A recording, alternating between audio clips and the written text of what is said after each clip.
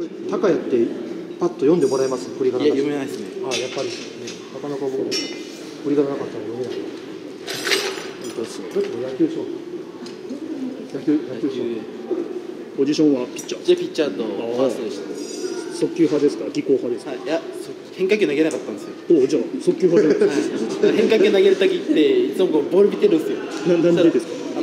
あの握り方が分かんないんで。ずっと見てたらあ縫い目がバレバレるんですよ。下見て見たらもうあいつ変化球みたいになだからもういつもこうやってこう隠しながらやるこれはかなり実践向きじゃないですね。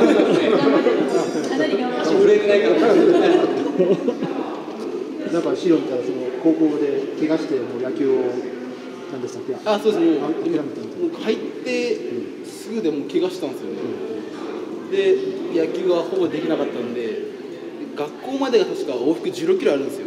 おあのグラウンドまで。それでママチャリとかで競争しててお大体自分が1位だったんおでそれでなんかお競輪あ先輩にお上野さん。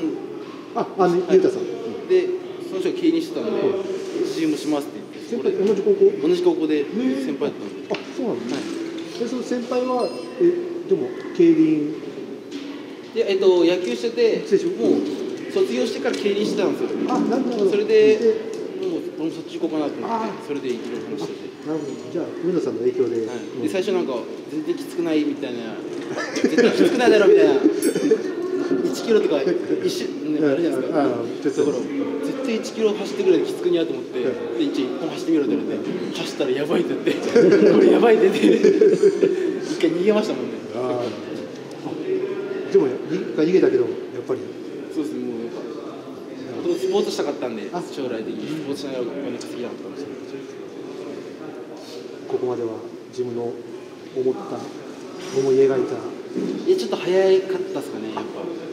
S 級までがちょっと早く行き過ぎて、うん。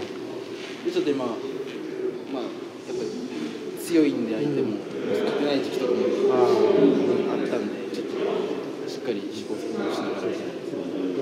今の体調はがっちりそうですもう結構しっかり練習もしてきたんでまあ全然ね一応あの選考にこだわってると思っていいんですか？それともそれでも先行でほぼ行こうと思ってるんで、そうバック19すごいな。昔の皆さんもこれぐらいありましたっけ？ピークぐらいの時があったかもしれないぐらい。です。もう過去です。過去わわず今何本でしたっけ？今二二ぐらあいです。二二本もあります。あ二本でも別に消したいとかそういう場合ないじゃないですかはいもうもうもうバックはもうこれなら取れるぐらいな感じで。